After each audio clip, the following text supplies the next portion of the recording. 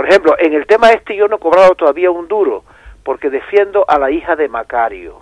Bueno, que fue el que me... El, la hija de Macario fue la primera persona que me, encomendó el tema del malmotreto. Yo no cojo un asunto penal porque yo me dedico al derecho administrativo, que es con lo que me gano la vida. El penal es mi segunda especialidad.